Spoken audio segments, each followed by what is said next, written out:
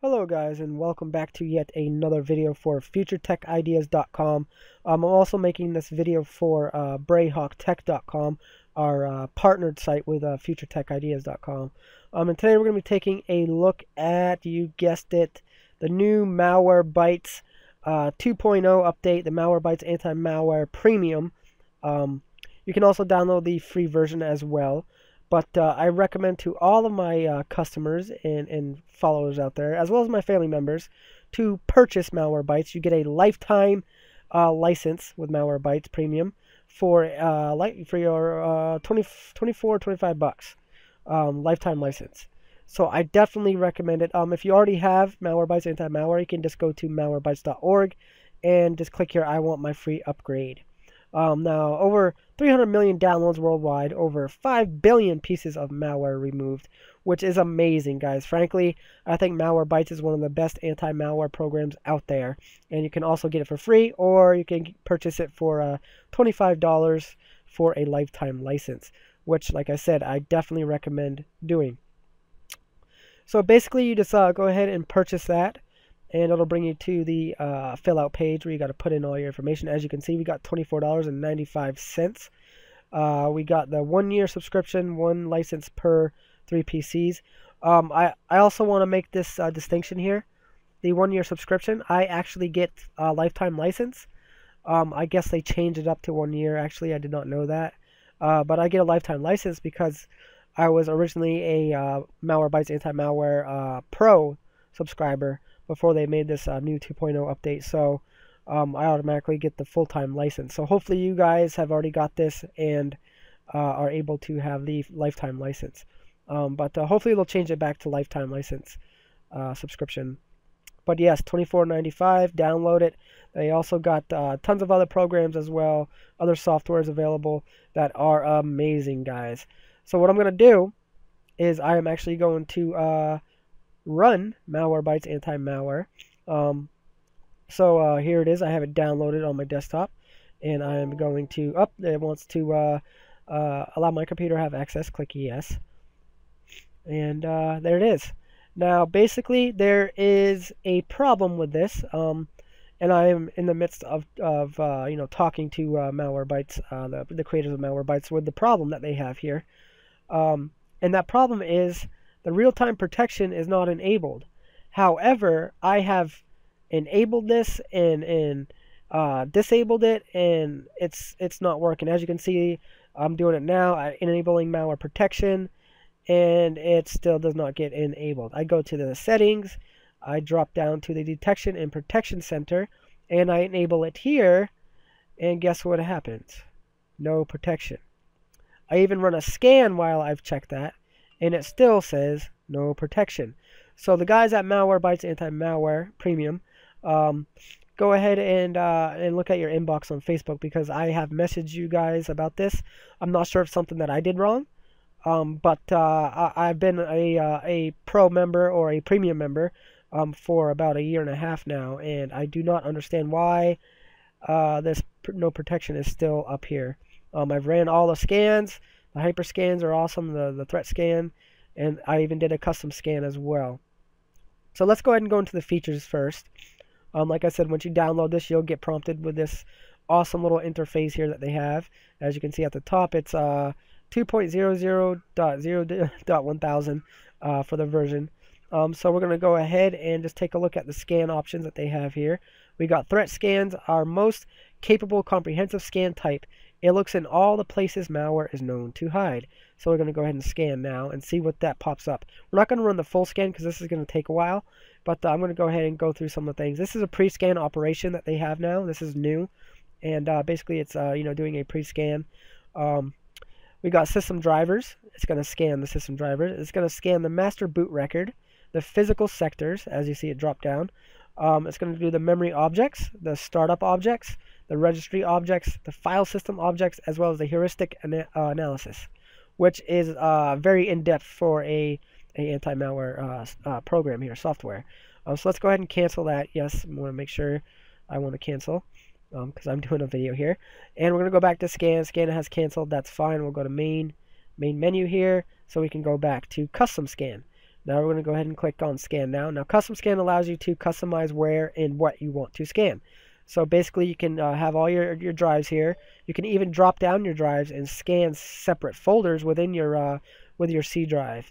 Um, so if you want to scan the recycle bin, you can do that. If you want to scan the boot, uh, you can the boot folder, you can do that. Uh, you can scan all separate folders, program files as well, uh, even SkyDrive, uh, users and Windows. Now, if you have separate uh, drives, they also allow you to uh, do the drop-down menu in them as well. And then you can even go further into in-depth and go into more in-depth and just keep scanning each of them separately. That's what I like to do sometimes. Um, over on the left-hand side, we got custom scanning op options. Uh, you can just check them off, uh, whatever you prefer. Scan archives, scan for rootkits. We want that. Scan startup and registry settings. We want that. Scan memory objects. We want that. Now, potentially unwanted programs or PUP. Um, they have a drop-down menu to, to basically tell Malwarebytes, uh, the, the, the software, what to do with uh, potentially unwanted programs. And you can uh, treat this uh, detection as malware. You can warn user about detection, or you can ignore detection. I always go warn user um, because there is some programs on here that get detected as uh, pups or I mean as uh, uh, unwanted programs. So I just go with warn user about detection as well as with uh, PUM, um, which is potentially unwanted modifications. So I go and warn user, and we're good to go with that. So let's go back. See if you can go back here. Go to cancel. Now let's go to Hyperscan. Hyperscan basically quickly checks your system for active threats. If anything is found, we recommend running a threat scan afterward. So basically, you run the hyperscan. It's pretty fast. Um, probably for like, uh, like say if you're on a website and all of a sudden something happens and something starts downloading, you want to hurry up and run this real quick because this is gonna take, this is gonna go pretty fast, and it'll it'll throw, it'll show you if there's any uh, uh, need for more action. Um, and if so, then you're going to go and run a threat scan, which is going to take a little bit longer, and it's going to remove the malware uh, that is on your computer. So we're going to go ahead and see what Hyperscan uh, does. And let's see what they got. Okay, they do this pre-scan as well. They got the system drivers, the master boot record, the physical sectors, the memory objects, startup objects, and the heuristic analysis. And it goes by pretty quick, guys. So you'll definitely be uh, getting that malware out of your system in no time at all. All right, so we're going to pause. Oh, cancel. I thought I canceled. Let's see if, yep, there we go. All right, go back to main menu. Now we're going to go over to the settings, and this is very important. This is where you're going to want to go to first off. Um, general settings. Now, I just recently learned this. In order to right-click on a separate document, you have to enable Explorer Content Menu Entry, um, I believe which is already by default enabled if you have the newer uh, update, the newer update for the uh, Malwarebytes here, but I did not. So this was already on no. And uh, I tried doing that, and I was like, wait a minute, they, they deleted this from this? This was a cool feature. So basically, I had to go in and, and uh, click yes for the Explorer Content Menu entry. You can select your language. You can enable uh, notifications, which is recommended. Uh, close notifications after 7 seconds, that's fine. You can also restore default settings there. Um, now let's go down to malware exclusions. This is where you basically exclude a, uh, a subfolder um, or any type of folder for that matter. You can exclude it from being scanned. So basically, like if you're like me and you like to do uh, create viruses for pen testing and and uh, just to just to mess around in virtual machines, um, you can go ahead and exclude files that are on your desktop. Say, for instance, I got a file on here that has a bunch of viruses inside it. I can go ahead and exclude that because I know that, that those are viruses that I created in order for testing.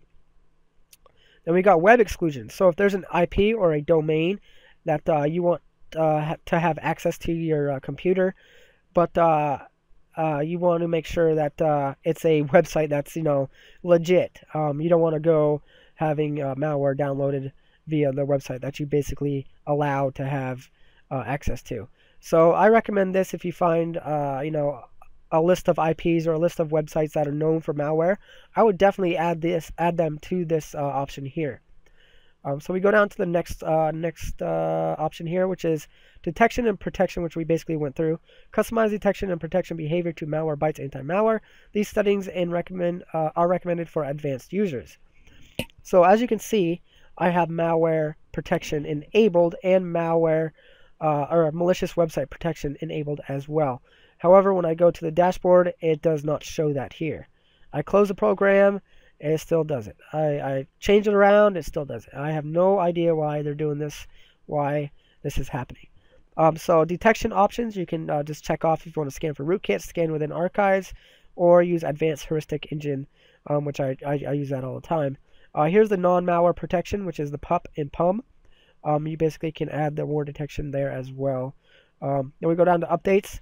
And what I like about this is you can basically uh, update options. You can uh, update uh, notify user if database is out of date for more than one day. We can go all the way up to uh, 28 days. Um, so yeah, and we can do proxy settings as well. Uh, recommended settings, you can go there and see what the recommended settings are. We also got the history settings. Uh, you can scan log options. You can basically import them to a specific directory in your uh, C drive, your program data.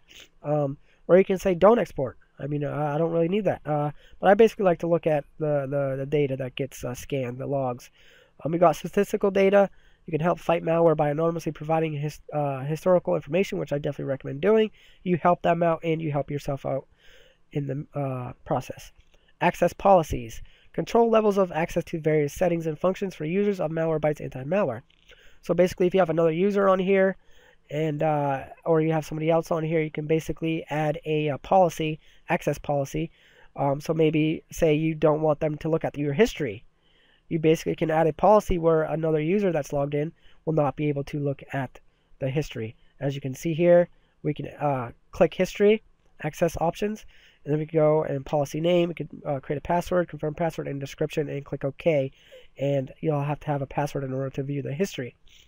Advanced settings. We got the recommended settings once again here. Um, we got start malware to malware Windows. I always recommend that, but be aware that it does slow down a little bit, uh, the startup. You can enable malware protection when anti-malware uh, Malwarebytes anti-malware starts, which I recommend, as well as enable malicious website protection, which I recommend. Uh, you can delay protection at startup for 15 seconds or, uh, let's see, 180 seconds. Um, I don't recommend that. I mean, if you if you want to, you can, because like I said, it does slow down the startup. Um, you can automatically quarantine detected item, which I do. Um, enable self-protection module, um, which I don't recommend. But uh, if you're more experienced in, in that, you can. Um, I also have another a backup virus program um, as well, which I'm a uh, paying customer of. Uh, but uh, I definitely recommend you guys leave that alone for now. Um, automated scheduling, you can basically schedule updates and threat scans uh, by clicking here or by just going to add. You can click here and you know edit. Or no, actually you can remove it. You can't uh, edit it. Oh, that kind of stinks. That would have been nice to edit it.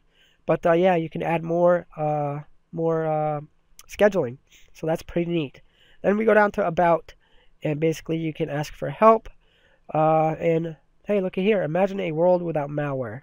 Malwarebytes does. So malwarebytes.org, guys, to check out all the information for the latest anti-malware. They also have a great blog where they post a lot of different uh, malware exploits and, and uh, program exploits, software exploits, if you will. So I definitely recommend going to their blog as well. You can just go to malwarebytes.org, scroll all the way down at the bottom. Matter of fact, I'll do that for you guys now and just uh, just show you where you can go. And I do apologize for my voice. I am suffering from the flu. So you scroll all the way down and you see blog here. You just click on blog. You can also go to the forums. You got careers and all that good stuff. So that is the place to find out about all the anti-malware that's out there in today's uh, today's world. Um, so what else we got? We got the histories where you can look at the uh, histories of your scans. As you can see, one of the scans did detect my uh, files where I do have uh, uh, potentially uh, unwanted programs on here. Um, application logs, you can check that out as well.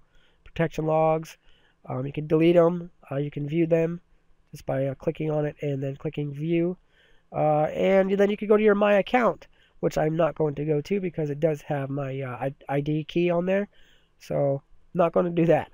Um, but I definitely recommend Malwarebytes check into this whole real-time protection uh, fiasco thing that's going on here because I have no idea why it's not allowing me to uh, enable real-time protection. Like I said, it may just be a, a, a random thing, um, a rare thing at that. Uh, but uh, maybe I should just try and re-download it or re-update to the uh, 2.0 here. But uh, once again, this has been another video for FutureTechIdeas.com. This is also going to be a video for BrayHawkTech.com, our partnered site for Future Tech Ideas, as well as I am a member of Brayhawk Tech. Um, so I appreciate you guys hitting the like button, hitting the share button out there. Uh, commenting below, let me know what you guys think of Malwarebytes anti-malware. And uh, yeah, thank you guys for watching. Once again, I am Jason Goyette, the owner of Future Tech Ideas and team member of BrayHawkTech.com. We'll see you guys next time.